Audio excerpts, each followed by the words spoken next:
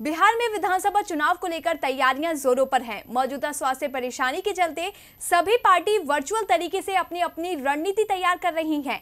और इसी क्रम में अब कांग्रेस ने चुनाव की ओर एक और कदम आगे बढ़ाया है। तो क्या है कांग्रेस की रणनीति? इस रिपोर्ट में देखिए।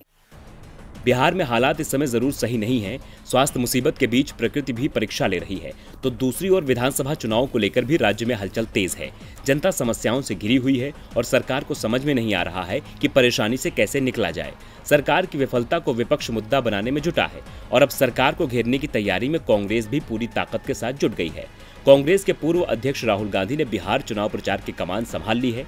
राहुल 6 अगस्त को बिहार कांग्रेस के अध्यक्ष समेत चार कार्यकारी अध्यक्षों से लेकर जिला और प्रखंड अध्यक्ष तक से ऑनलाइन जुड़ेंगे और उन्हें वर्चुअल माध्यम से संबोधित करेंगे। राहुल गांधी राज्य में प्राकृतिक समस्या और मौजूदा स्वास्थ्य हालात के साथ साथ चुनाव की तैयारियों को लेकर पार्टी के नेताओं से चर्चा करेंगे।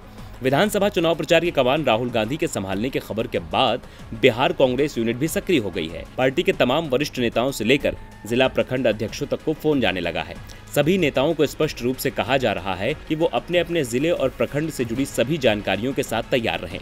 राहुल गांधी किसी से भी मौजूदा हालात और विधानसभा चुनाव से जुड़ी तैयारियों पर जानकारी ले सकते हैं। खैर, अब राज्य में सभी पार्टियाँ अपना दमखम दिखाने के लिए रणनीति तैयार कर रही हैं, लेकिन जनता को कौन सी पार्टी भाती है, ये तो आने वाला वक्त ही बताएगा।